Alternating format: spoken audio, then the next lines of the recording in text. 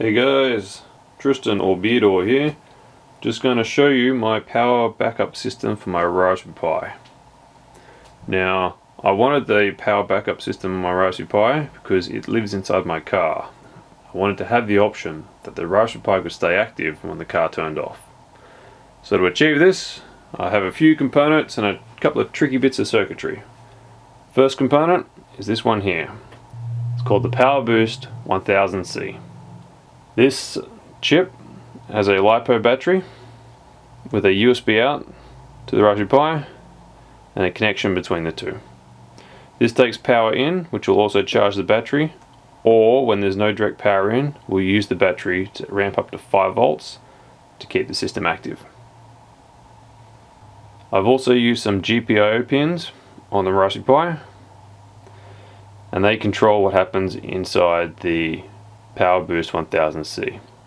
I'll put a link in the description to this so you guys can look it up. This is the circuit. On this side is the Power Boost 1000C, on this side is the Raspberry Pi. 5 volts USB power enable, ground and low battery. And on the Raspberry Pi, the GPIO pins 4 and 17. Both these are connected to a common ground. Worth pointing out the Raspberry on this side is a 3.3 volt system whereas the Power Boost runs at 5 volts. First thing I did was I connected the enable to the ground via a 10k resistor and what this does is allows that the Power Boost 1000C only turns on when there's power given to the enable so it won't turn off it won't turn on when I disconnect the power unless it's being held on through the 5 volts. Second thing I did was I connected the USB power through to the enable. This means when there's power coming into the power boost, it'll turn on. The last thing, the 5 volts goes through a 2N quadruple 2 transistor, which is controlled by the GPIO pin 4, and that allows the power boost to automatically turn on and stay on. This is controlled by the Raspberry Pi, so this is what allows the Raspberry Pi to decide when there's power staying in the system or not. And now I'll show you how it works.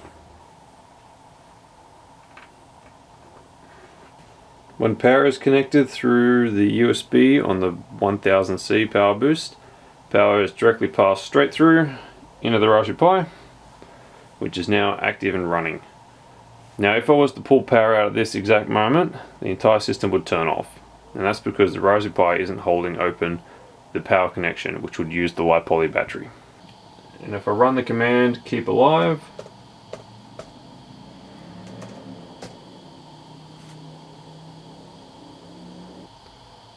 so the system is now running on battery backup power. And if I disconnect the power,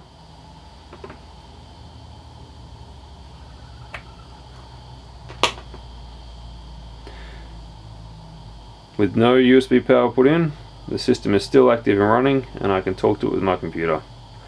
This will stay this way until the low voltage signal from here is picked up by the Raspberry Pi, at which time the Raspberry Pi has a script which will call and shut everything down. Then this is how you turn it off.